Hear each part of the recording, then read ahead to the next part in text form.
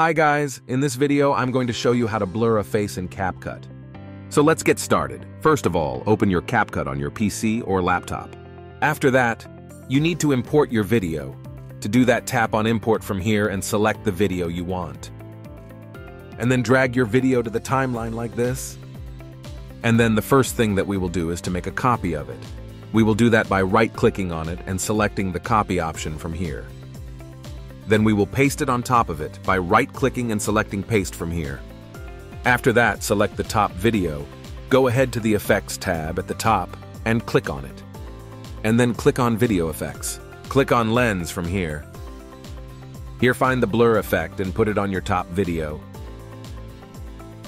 After that, select the top video and go to the mask option located right here. Here you will see some options. Simply click on Circle 1. After that, adjust the size and position to cover the face you want to blur.